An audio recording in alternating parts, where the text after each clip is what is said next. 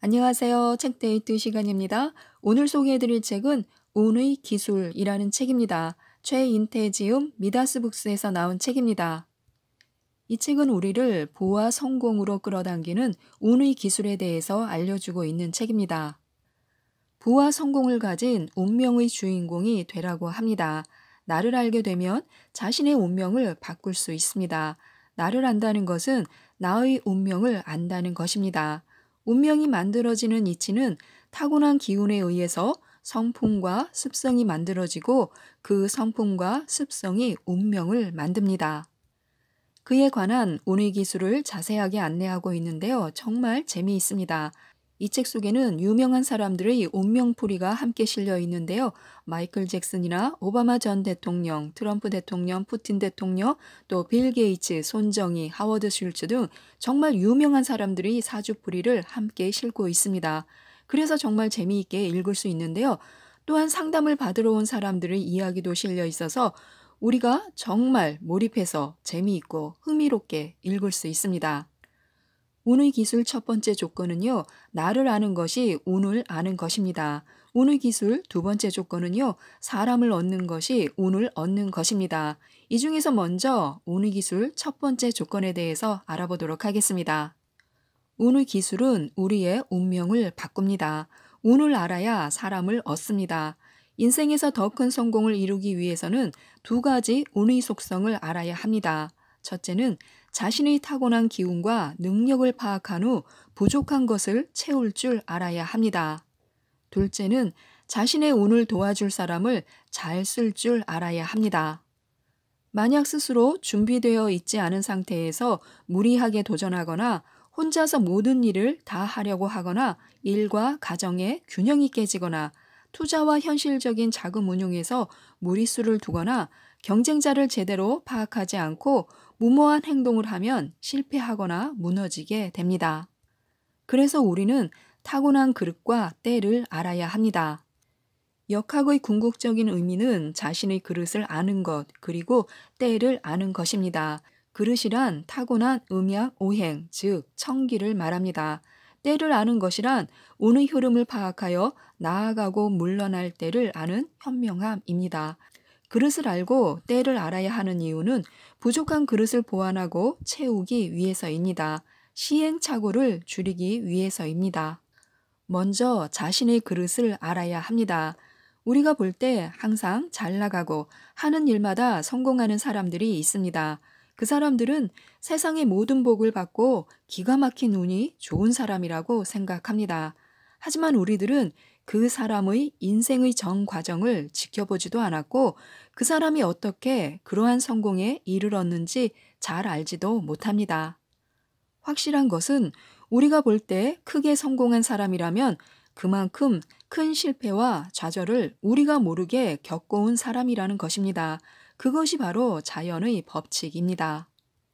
세상 만사는 내 뜻대로 내 마음대로 되지 않습니다.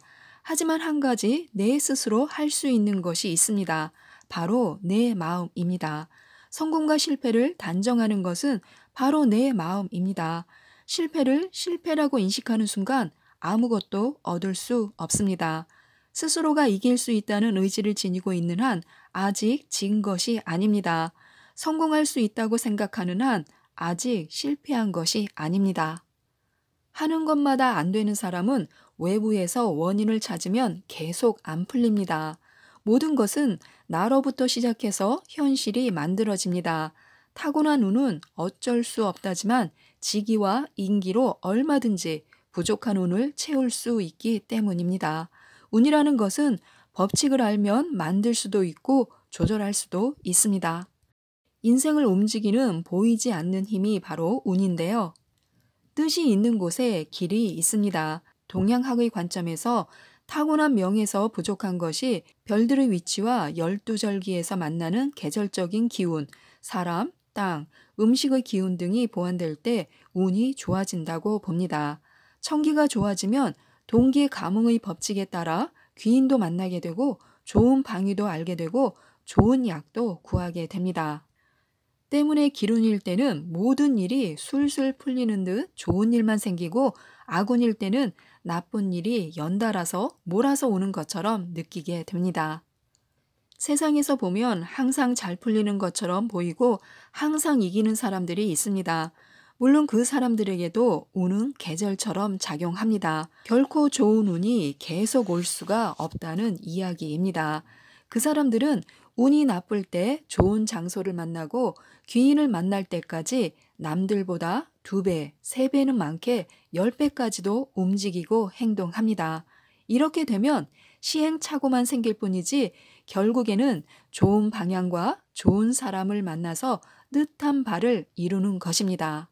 운명이나 동양학을 전혀 모르는 사람도 행동하고 움직이다 보면 좋은 방위도 만나고 귀인도 만나게 되고 체질에 맞는 음식도 알게 됩니다. 많이 행동하고 움직일수록 자신의 부족한 기운에 무엇이 맞는지 알게 되고 그러다 보면 청기의 운을 보완할 수 있게 됩니다. 이러한 운의 법칙을 알게 되면 결코 운은 숙명처럼 다가오는 것만 있는 것이 아니고 행동과 의지로 인해 조절하고 만들 수도 있음을 알게 됩니다. 남들보다 두 배, 세 배, 네 배 움직이고 공부하고 행동하다 보면 어느새 자신의 타고난 명을 보완할 수 있게 되는 것입니다. 하지만 좌절하면 하늘도 도울 방법이 없습니다. 자연이 선사하는 투쟁을 통해 나무는 자립심과 강인함을 얻습니다. 우리의 삶도 마찬가지입니다. 삶에서 다가오는 시련은 스스로를 단련시킵니다. 운은 계절처럼 변합니다. 결코 아군이 계속될 수는 없습니다. 아군 다음에는 반드시 기운이 오는 것은 하늘의 법칙입니다. 아군일 때 좌절하고 포기하면 하늘이 준비한 기운을 결코 받을 수가 없습니다. 스스로가 포기하면 결코 하늘도 도와줄 수가 없는 것입니다. 징징대지 말고 투덜대지 말고 스스로를 자각해야 합니다. 삶을 떳떳하고 당당하게 살아가려면 자각하는 힘을 길러야 합니다. 자기 스스로의 결점이나 책임이 무엇인지를 스스로 깨달아야 합니다. 자신을 스스로 돌아보는 자각하는 힘은 모든 종교나 철학에서도 가장 중요한 요소로 통하며 사주학이 만들어진 이유도 자신의 장단점을 음양오행의 관점으로 자각하기 위해서입니다. 자신은 남을 단죄하고 평가하면서 스스로는 결코 고치려 하지 않고 바뀌지 않는다면 그 사람은 항상 우울할 수밖에 없습니다. 우울함은 있던 운도 달아나게 합니다. 성품이 인생의 격을 만듭니다. 인생의 모든 현실은 내면의 자화상이라는 말이 있습니다. 무언가 어긋나고 안 풀리며 답답한 현실이 이어진다면 자신의 뒤틀어진 내면의 성품 속에 있는 마음을 돌아봐야 합니다. 내 마음이 바뀌지 않으면 결코 현실의 인생은 바뀌지 않습니다. 우리의 인생은 스스로 선택한 현실의 결과입니다. 타고난 성품대로 인생을 선택합니다. 타고난 성품을 동양 철학에서는 음양오행으로 파악합니다. 이것이 바로 사주입니다. 한 사람의 성품은 그 사람의 격이 되고 그 격은 인생을 만듭니다. 예를 들어 부자 사주로 태어나게 되면 부지런함, 성실함, 강한 의지력, 긍정적인 사고방식의 성품을 갖게 되지만 빈천한 사주로 태어나게 되면 게으르고 노력하지 않으며 부정적인 사고방식의 성품을 갖게 됩니다. 그래서 운명을 바꾸고 싶다면 자신의 마음부터 바꿔야 합니다. 마음을 바꾸기 위해서는 스스로가 먼저 객관적으로 자신을 바라볼 수 있어야 합니다. 좋은 운을 만들기 위해서는 긍정의 힘이 필요한데요. 그래서 주변을 전부 긍정의 힘으로 채우는 것이 좋습니다. 인생을 살면서 누구나 실패할 수 있습니다. 하지만 이런 실패를 어떻게 받아들이느냐에 따라서 다가오는 삶의 격에 분명히 차이가 생깁니다. 밝고 긍정적인 양의 기운이 강한 사람은 불행의 순간이 와도 쉽게 극복합니다. 하지만 부정적이고 음의 기운이 강한 사람은 운이 풀리지 않을 때 극단적인 생각을 할 정도로 힘들게 보냅니다. 특히 지나온 과거의 인생에 집착하고 모든 것을 후회만 할 뿐 개선하려고 노력하지 않습니다. 하지만 밝은 기운을 갖고 사는 사람들은 항상 긍정적인 생각을 하고 설령 실패와 아픔이 오더라도 이를 기회로 삼아 더 발전하려고 합니다. 그리고 다가오는 미래에 집중하고 과거에 집착하지 않고 또한 후에도 별반 하지 않습니다. 시간은 미래로부터 과거로 흐른다 라는 말이 있습니다. 미래에 어떤 상을 그리느냐에 따라서 그것이 현재가 되고 그 현재는 또 과거가 됩니다. 그래서 과거가 아닌 미래의 희망과 긍정에 집중을 해야 합니다. 그 희망과 긍정이 현실이 되기 때문입니다. 언제나 좋은 쪽을 바라보는 긍정적 생각 습관은 자신의 미래는 물론 주변의 미래도 밝게 만듭니다. 모든 일이 잘 될 것이라고 믿는 마음가짐, 긍정은 성공의 중요한 요소입니다. 무책임하고 행동하지 않는 막연한 낙관과는 전혀 다릅니다. 낙관은 마치 감나무 밑에서 감이 떨어질 때를 기다리는 것처럼 아무 일도 안 하고 노력도 안 하며 좋은 결과만을 기다리는 것입니다. 진정한 긍정은 나쁜 조건 속에서도 밝고 희망을 유지하는 것입니다. 자신이 뭔가 잘 풀리고 모든 일이 술술 풀어질 때는 누구나 긍정적입니다.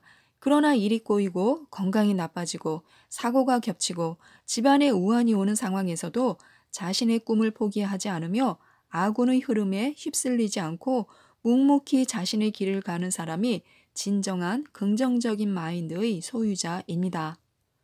부정을 긍정으로, 절망을 희망으로, 슬픔을 기쁨으로 바꾸는 것이 진정한 긍정입니다.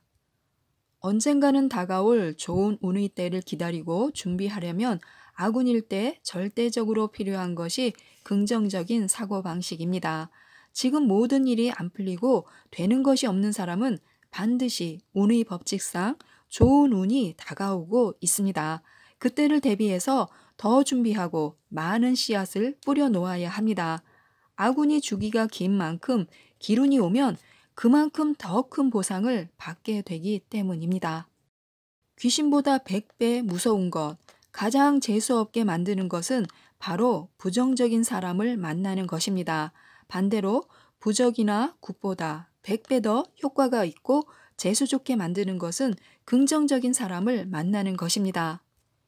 세상의 어떤 기운보다 사람보다 강한 기운은 없기 때문입니다. 지금 당장 운을 바꾸고 싶고 재수를 좋게 하고 싶다면 주변이 부정적인 사람을 모두 정리해야 합니다. 그리고 항상 웃고 기운이 넘치고 긍정적인 사람을 만나야 합니다. 그러면 어느새 아군은 도망가고 기운이 연달아서 들어오는 놀라운 체험을 하게 될 것입니다. 우리는 언제나 부와 성공이 가득한 인생을 선택해야 합니다. 현대를 살아가면서 부와 성공은 모든 사람들의 선망의 대상이요. 누구라도 꿈꾸며 바라는 것입니다.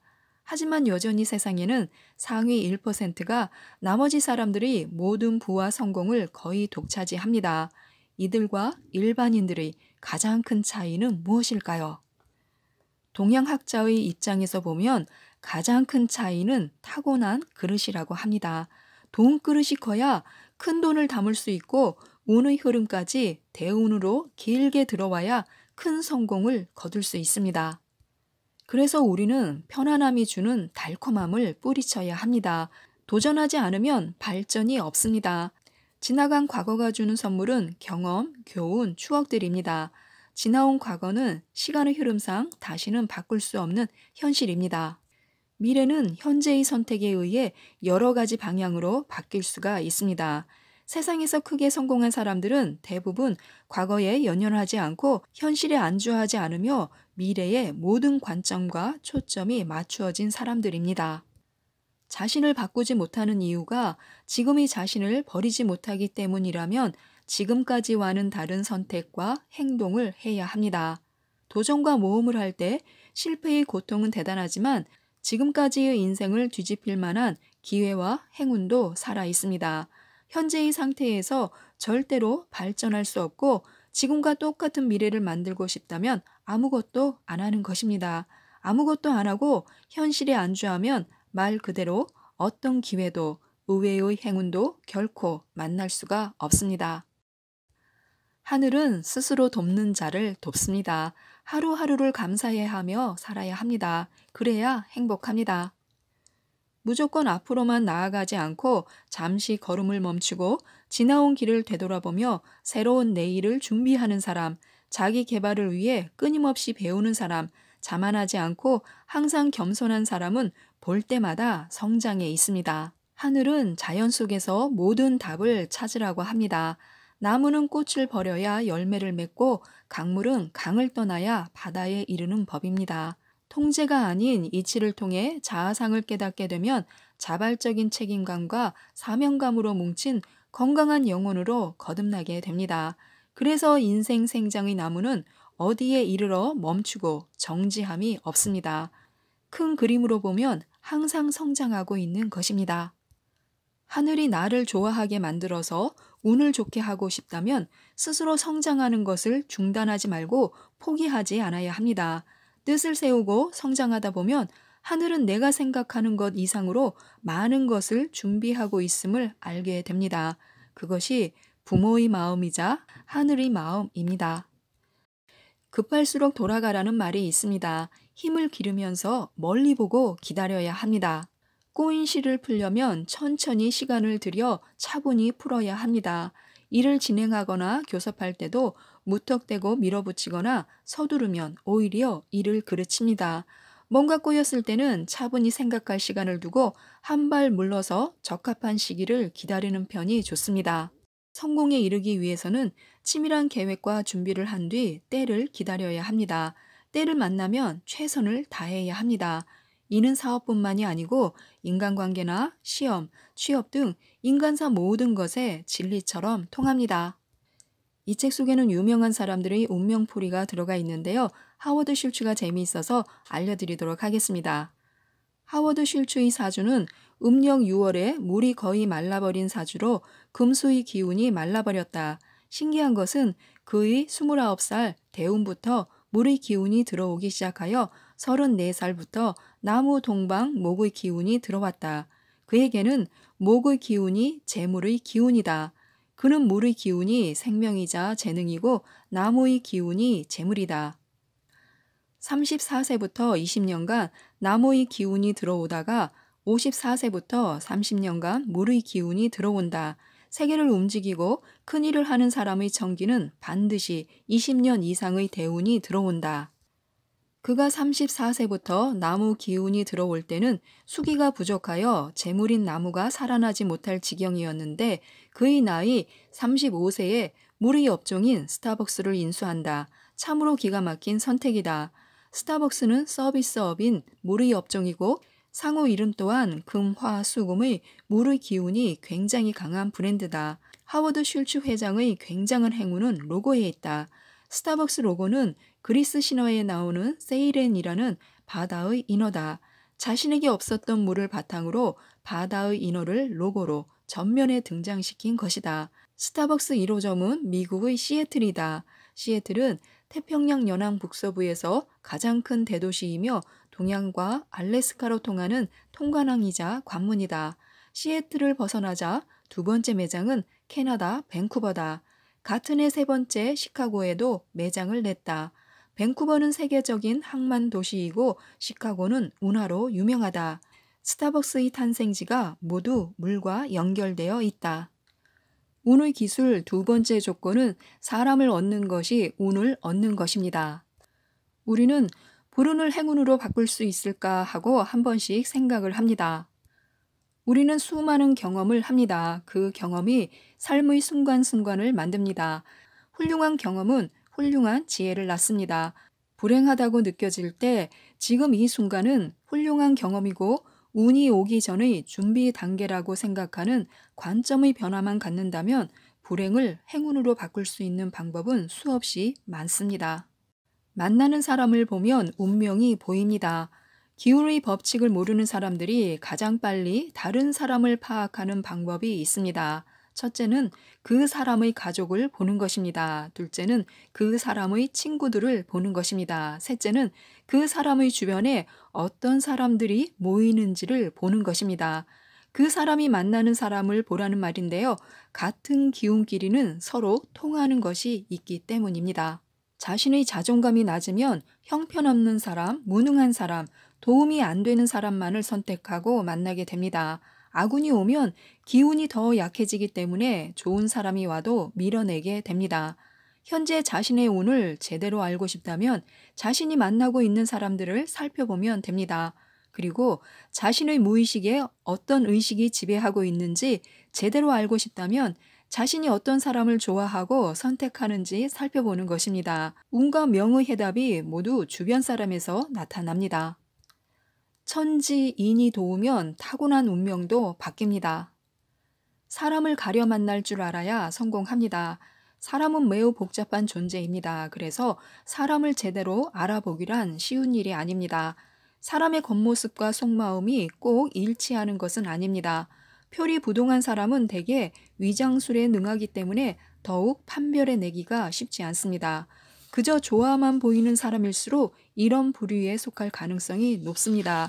사심이 가득한 사람일수록 정의와 공정을 내세우고 속임수에 능한 사람일수록 정직을 표방합니다. 모든 것에는 양면성이 존재합니다. 사람을 볼 때도 겉모습만 보고 현혹되어서는 안 됩니다. 성공하고 싶다면 자신의 귀인을 찾아야 합니다. 사주가 미신이며 비과학적이라고 말하는 사람들은 이렇게 묻습니다. 똑같은 사주는 다 같은 운명을 사는가요? 하고요. 이러한 질문은 기의 법칙과 명리학의 원리를 모르기 때문에 나옵니다. 명리학은 자신의 정해진 명운을 먼저 안 다음 운의 흐름, 주변 환경, 사람에 따라 변화하고 순환하는 운기의 맥을 해석하는 것입니다. 따라서 한날 한시에 태어나 같은 사주를 가졌어도 현실의 삶은 달라집니다. 갖고 태어난 청기의 음양오행은 같아도 타고난 음양오행에 변화를 주는 각자의 부모, 형제, 친구, 연인, 배우자, 자식까지 모두 다릅니다. 같은 날 같은 시에 태어날 확률은 어느 정도 되나 주변 사람까지 같을 확률은 제로이기 때문입니다. 현재 자신의 얼굴과 자세에서 나타나는 모든 품격이 곧 사주이자 인생인 것입니다. 사주와 인생을 바꾸고 싶다면 행동과 자세를 교정해 품격을 바꿔야 합니다. 품격을 바꾸는 것 첫 번째는 마음을 바꾸는 것입니다. 지금부터는 부와 성공을 끌어당기는 운의 기술에 대해서 알려드리도록 하겠습니다. 먼저 타고난 운과 명을 알아야 운명을 바꿀 수 있습니다. 길을 쉽게 말하면 생명 에너지, 우주 에너지라고 표현해도 됩니다. 이러한 길을 정리하자면 청기, 지기, 인기가 됩니다. 동양학에서 말하는 운명 또한 이 세 가지가 합해져서 발현되는 것을 말합니다. 타고난 청기인 운과 명을 먼저 알아야 하는 이유는 청기에 따라서 지기와 인기가 끌어당겨지기 때문입니다. 타고난 운명은 같지만 각자에게 주어진 직위와 인기가 다르기 때문에 인생이 달라지는 것입니다. 우리가 태어났을 때 우선 부모의 인기가 격이 다릅니다. 나한테 부족한 것을 부모가 가지고 있으면 그것이 40대 초반까지 버팀목이 되어줍니다. 음식은 생명이자 운명입니다. 들어가는 것이 양이라면 나오는 것은 음인데요. 자연의학적 관점에서 보면 우리가 평상시에 먹는 음식이 아플 때 먹는 약과 다르지 않습니다. 먹는 것이 곧 약이 될 수도 있고 독이 될 수도 있습니다. 그만큼 음식은 중요합니다. 현대의학자, 한의학자, 대체의학자 모두 우리 몸에 나타나는 병의 대부분은 평상시 먹는 것에서 나온다고 말합니다. 먹는 것으로도 관상을 본다고 하는데요. 운을 조절하고 자신의 명을 바꾸고 싶은 자는 평상시에 먹는 음식을 어떻게 먹는지를 잘 관찰하면 됩니다. 그리고 먹는 것을 조절하면 되는데요. 그러면 어느새 운명은 바뀌어 있을 것이라고 합니다. 또한 사는 곳을 보면 미래가 보인다고 합니다. 풍수는 교정만 잘 되면 현실의 기온 변화가 매우 빠르게 나타납니다. 이사를 해서 뭔가 안 풀리거나 몸도 안 좋아졌다면 지금 당장 햇빛과 조명을 조절해서 집안의 따뜻하고 온화한 기운을 끌어당기면 됩니다. 그리고 어질러지고 흐트러진 집안 곳곳을 청소하고 정리정돈을 해서 맑고 깨끗한 기운을 만들어 보는 것입니다. 이렇게만 해도 최소한 탁기는 어느 정도 해소할 수 있고 명당의 핵심적인 원리인 생기를 흐르게 할 수 있습니다. 항상 따뜻하고 맑고 청아한 기운을 잘 유지해야 합니다. 만나는 사람을 보면 운명이 보입니다. 운이라는 것은 계절과도 같기 때문에 좋은 운과 나쁜 운은 교차해서 계속 들어왔다가 나갑니다. 중요한 것은 타고난 그릇을 아는 것입니다. 타고난 그릇을 알고 난 다음 부족한 것을 보완하지 않으면 운은 와봤자 받을 그릇이 없기 때문에 흘러가고 지나가 버립니다. 자신의 타고난 명, 즉 청기를 알고 부족한 것을 직이나 인기로 채워야 합니다. 직이나 인기 모두 중요하지만 배우자나 동업자 등 항상 함께 있거나 자주 만나는 사람의 기운은 사람을 살릴 수도 있고 죽일 수도 있습니다. 좋은 책 한 권은 운명을 바꿉니다. 독서는 문명을 발달시켰고 과학을 진일보시켰으며 문화와 예술을 창조했습니다. 지식과 정보를 책으로 남기지 못했다면 오늘날의 인류는 존재할 수 없었을 것입니다. 책에는 그 책을 쓴 저자의 기력이 들어가 있습니다. 저자의 기력이란 작가의 타고난 기운과 인위적으로 배우고 닦아서 생긴 책 속에 담겨 있는 기운을 말합니다. 그래서 부자들은 수십억을 들여서라도 예술 작가의 작품을 사들입니다. 그 그림 한 점에 들어가 있는 작가의 사상, 깨달음, 세계 등이 담긴 기력을 느낄 수 있기 때문입니다. 진정한 부자가 쓴 책을 가지고 다니면 재물을 부른다는 부적 몇십 개를 가지고 다니는 것보다 더 좋은 운을 불러온다고 합니다. 덕을 베풀어서 운명을 업그레이드 할 수도 있습니다. 우리는 일상에서 알게 모르게 덕과 복이란 말을 많이 씁니다. 새해 인사 또는 세배를 할 때도 복 많이 받으십시오 라고 말을 합니다. 세배를 한 다음에는 어른들로부터 덕담을 듣습니다. 이렇게 복과 덕은 항상 따라다니는 말처럼 일상에서 많이 쓰고 있습니다. 덕을 쌓는 방법 중에 석가모니가 말한 무제칠시라는 것이 있습니다. 이것은 누구라도 쉽게 따라할 수 있습니다. 그 일곱 가지를 알려드리도록 하겠습니다. 첫째는요, 얼굴에 밝은 미소를 띠고 부드럽고 정답게 남을 대하는 것입니다. 둘째는 공손하고 아름다운 말로 대하는 것인데요. 사랑의 말, 칭찬의 말, 격려의 말, 양보의 말입니다. 셋째는 착하고 어진 마음으로 사람을 대하는 것입니다. 따뜻한 마음은 사람들에게 용기를 줍니다. 넷째, 호의를 담은 부드럽고 편안한 눈빛으로 사람을 대하며 동시에 다른 사람의 좋은 점을 보려고 노력하는 것입니다.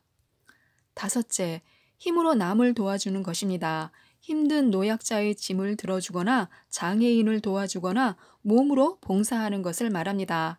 여섯째, 다른 사람에게 자리를 양보하는 것입니다. 지치고 힘든 사람에게 편안한 자리를 내어주는 것도 마찬가지입니다. 일곱째, 사람들로 하여금 편안하게 쉴 공간을 주는 것입니다. 이것은 묻지 않고도 상대의 마음을 헤아려 도와주는 것입니다. 이렇듯 내가 남에게 덕을 베풀고자 할 때는 여러 가지 방법이 있습니다. 운명을 바꾸려면 심상을 바꾸어야 하고 심상을 바꾸는 가장 좋은 방법은 덕을 쌓는 것입니다. 동서양의 고대로부터 내려오는 행운법이 있습니다. 역학에서는 행운을 끌어당기는 여러 가지 법칙이 있는데요. 운명학을 연구하는 사람은 행운을 철저히 자신의 타고난 기운을 보완할 때 발생하는 요소로 봅니다.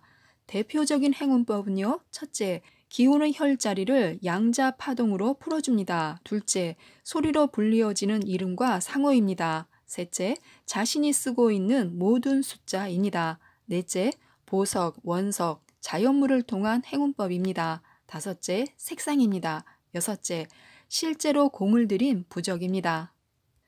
동양 철학에서 보는 세계는 기의 세계입니다. 보이지 않지만 엄연히 존재하는 에너지가 모든 산나만상에 존재한다고 봅니다. 이 길을 보낼 수도 있고 담을 수도 있고 흐르게 할 수도 있습니다. 그래서 우리가 눈으로 보고 만지는 이 세계는 사실은 보이지 않는 입자로 되어 있어서 우리 눈에는 보이지 않지만 공간 속의 에너지가 변화한다고 보고 있습니다. 타고난 청기에 따라 몸의 체질이나 건강은 정해집니다. 이 청기를 조절해주는 기운 조정법은 건강은 물론이고 행운까지 가져다 줍니다. 나의 청기가 개선이 되면 동기 감흥의 법칙으로 좋은 기운을 끌어올 수 있기 때문입니다. 지금까지 이 책에 대해서 말씀드렸는데요. 기회는 세 번이 아니라 3천 번도 온다고 합니다. 기회를 가장 잘 잡는 방법이 있습니다. 나에게 다가오는 모든 시간이 기회를 가져다 줄 보물 같은 시간이니 삶의 매 순간 준비를 잘하는 것입니다. 또한 하루에도 몇 번씩 다가오는 기회를 내 것으로 만들기 위해서는 절대적인 긍정적인 마음도 중요합니다. 뜻이 있는 곳에 길이 있다. 이런 말이 있는데요. 동양학자의 입장에서 보면 절대적인 진리라고 합니다. 자신이 스스로를 포기하지만 않는다면 기회는 항상 열려 있다고 하는데요. 이 책이 정말 많은 도움이 될 것 같습니다. 꼭 한번 읽어보시고 기회를 잡으셔서 성공하시고 부자가 되셨으면 좋겠습니다. 이상 책데이트였습니다. 감사합니다.